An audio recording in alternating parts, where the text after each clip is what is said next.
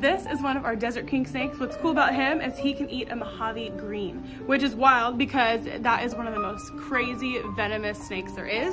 And this guy, this little one, he can take it down. Same with sidewinders and all different kinds of different rattlesnakes.